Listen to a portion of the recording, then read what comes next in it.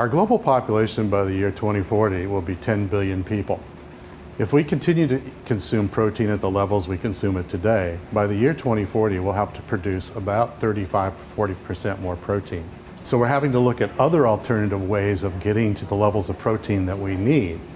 And it's not just protein as a protein. There are certain amino acids that we require as humans for our thriving well-being.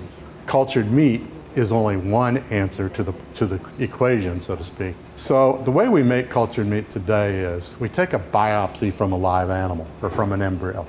We then take those cells out, chop them up into little pieces, and put them into a medium that's full of nutrients, be it protein, carbohydrates, fats, growth factors, and hormones.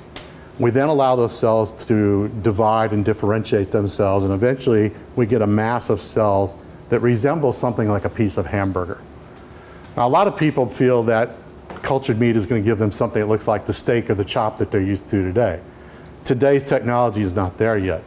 One of the ways we're trying to get more of a three dimensional piece of meat, if you will, is by growing those cells on what we call a cell scaffold.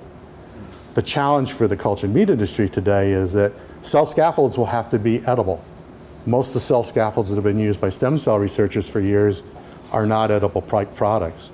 So we're looking at things like tendons and ligaments, plant cell parts, even bone pieces to be able to grow those cells on and, and, and, get them to differentiate themselves to actually resemble a piece of meat that's a little bit more familiar to us. The next big challenge for us is going from a small plastic dish where we're growing the cells into a big bioreactor. Cells have not been done traditionally by that method yet. So we have a lot of, lot of work in the scale up to go forward with to be able to produce by mass production.